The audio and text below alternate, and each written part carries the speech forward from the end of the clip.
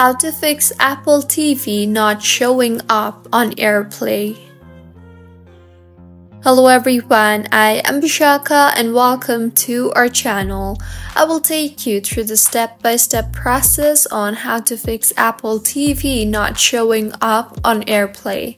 Now, let's get right into the tutorial. Firstly, let us discuss about the reasons why your Apple TV is not showing up on AirPlay. First, your AirPlay settings are disabled. Second, your AirPlay is connected to multiple devices. And third, your AirPlay software glitch.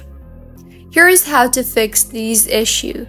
Firstly, enable AirPlay. Go to Settings on your Apple TV. Navigate to the menu and select AirPlay. Further, turn on the AirPlay option. Restart your TV and check if the problem is solved or not. Also, disable other devices if your device is connected to other devices.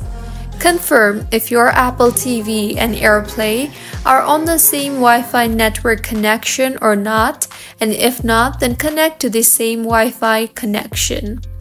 Also, disconnect AirPlay on your other devices.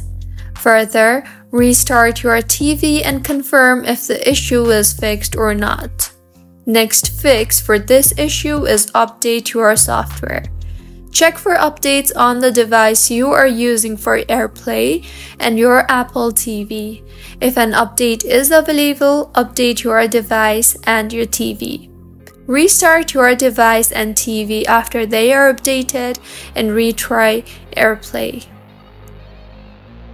So, this is how you can fix Apple TV not showing up on AirPlay. If you find this tutorial helpful, please like the video and do comment if you have any queries. Also do subscribe to our channel Login Giants for similar helpful tutorials. See you on the next one.